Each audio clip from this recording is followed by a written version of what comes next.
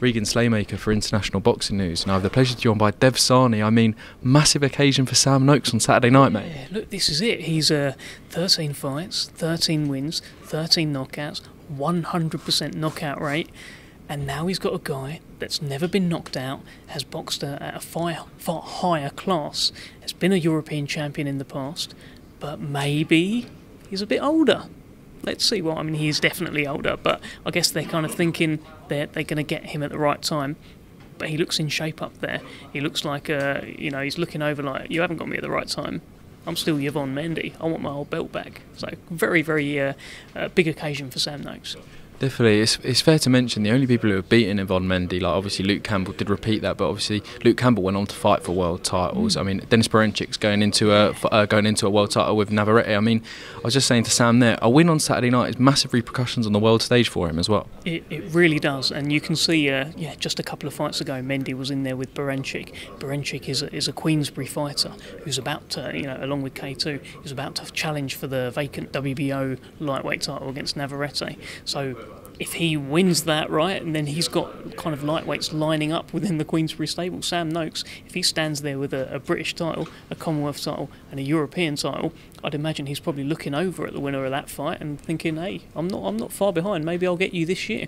Mark Chamberlain will be thinking the same thing as well. So uh, it's a fascinating time, and it, it does have an impact on the world stage. If you kind of look at the bigger picture, it could mean a lot. And Sam Noakes if he does become the first man to stop Yvan Mendy, even a win's great, but if he knocks him out, that's a big, big statement. Definitely, I do want to touch on Mark Chamberlain before we get on to the undercard of this of this uh, fight card on Saturday. I mean, obviously he's on the he's on the Fury Usyk card, but he's got a very tough fight against Joshua Wahab. I mean, since, until his fight with Liam Dillon, where he lost, he I think he was 22 and 0, 20, 22 knockouts. I mean, massive stage for Mark Chamberlain, obviously, but a very dangerous opponent in, in front of him. It will bring out the best in him. I, I love that that fight got made, and I, I, was looking at that as well, like the record, like, oh, he's pretty decent. He looks a bit tasty. But um, look, he's clearly a bit of a favourite with uh, His Excellency Turki Al Sheikh. We all heard the story about how he ended up getting on the card. Uh, fantastic stuff. And this will bring out the best in him. Having someone come towards him who's got all those knockouts, got a bit of power, can put a bit of fear into him, coming to take his head off, he might get his head taken off himself, uh, and that's what I would imagine will happen because Mark Chamberlain can crack he, def- he definitely can. I think that uh, that result against Gavin Gwynne proves it as well. We'll talk about the undercard in this fight. I mean, Alois Jr., Henry Turner, and then I think one one person that everyone's forgetting is Andrew Cain. He's back from injury as well. Massive fight card on Saturday for uh, Frank Warren and Queensberry Promotions. Yeah, look, I'm looking forward to seeing Andrew Cain come back. You know, you mentioned the other guys, but Andrew Cain, um, for me, he, you know, he's out of that Everton Red Triangle gym. He's with Nick Ball, Brad Strand, and he took that loss to Ionut Baluta, which could have gone his way. It looked like early on in that fight he was just going to knock Baluta out. He had him over a couple of times and he was blitzing him. Then he says he hurt his hand, and you know I saw his hand afterwards. It, it didn't look in great shape, and it went Baluta's way. And Baluta is just a tough, tough man as well, and. Uh, you end up in a, a, tough place where Baluta's just sort of raining down on you. You don't want to be in that slot. But this is a chance for Andrew Cain. By the way, that was up at Super Bantam. He's coming down to Bantam now. That seems to be where his future is. So Andrew Cain, get back in there, make a bit of a statement, and then probably look across at someone like Ash Lane, who is the British champion, the Commonwealth champion, and he probably fancies a bit of that. But he needs to get it right on Saturday, show everyone that he's back. So uh, I'm looking forward to seeing him.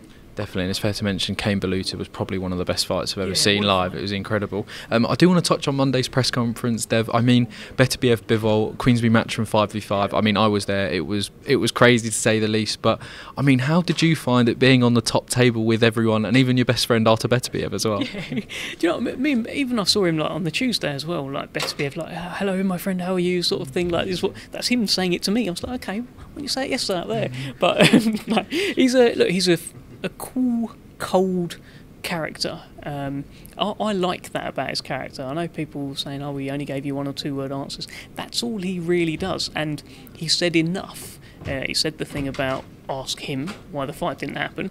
That's why I asked that question because I knew he'd say ask him, and then it's up to Bivol to kind of respond.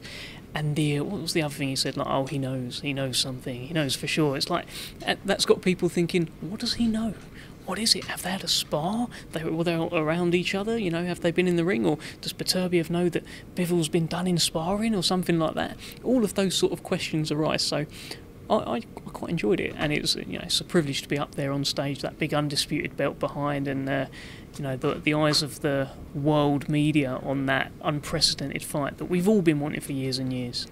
De- definitely, mate, as well, and Roberto Duran bringing out the belt as well, which was which was it. It was it was crazy. I think Ellie Scotney was buzzing meeting him backstage as well. Yeah. I mean, Queensberry Matchroom five v five, Dev. I mean, it, the card is ridiculous. But what is your pick of the bunch out of those five fights? So in terms of the, I think they're all absolutely brilliant. You're absolutely right. Um, the one that in my head I just can't I can't get it out of my head is when that first bell rings and you see Deontay Wilder on one side with all these questions around him as to whether or not the bronze bomber still exists, and you see you see Zhilei Zhang on the other side, and you know when, when that first bell rings, he's going to crash his gloves together and just walk right towards Wilder.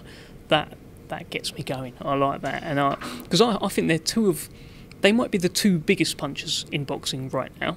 If not, they're certainly two of the top three, four, five, because they can both crack, and you know that Deontay Wilder's record shows that. And Big Bang, even though he lost against Joe Parker, had him over a couple of times as well. He's a uh, I just don't know what's going to happen in that fight, other than Zhilei Zhang winning because he's representing Queensberry. Definitely, and also Deontay Deontay Wilder's matchroom captain as well. So that was yeah. that was that was very inter- interesting pick by uh, Mr. Hearn as well on the top table. The other couple couple of cards that Frank Warren and TNT have announced, that I mean, in my opinion, it's a cracker on May the 11th. But uh, Denzel Bentley versus Danny and Nathaniel Collins return, and then in my opinion, the fight of the night, uh, Ryan Garner versus Liam Dillon. Mm. I mean, sum up that card for me mate, with just those three fights announced so far. Yeah, I mean, I, I love it. It's, it's great. It's great to see what. Um, so Denzel Bentley, after the loss to Nathan Heaney, he's kind of in this place where he doesn't want to come back against journeymen, doesn't want to rebuild, doesn't want the confidence boosting or anything like that. He wants a proper fight. I spoke to Danny Dignum. Danny Dignum's talking about how I need to win this fight, otherwise I'll probably jack it in. So that that for me was quite a shocking statement to hear that he's thinking about that. He's only got one loss on his resume to to Janibek, right? Um, so it means a lot to Danny Dignum, means an awful lot to Denzel Bentley. It's a cracking fight to headline.